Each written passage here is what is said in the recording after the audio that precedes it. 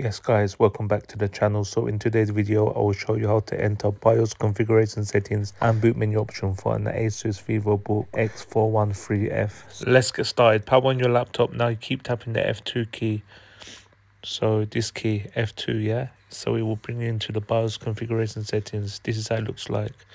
You've got main, advanced, boot, security, save and exit. Right i'm going to exit and show you guys how to enter boot menu options. So once the laptop restarts i'm just restarting windows because sometimes if you restart and try it it doesn't work to enter boot menu option.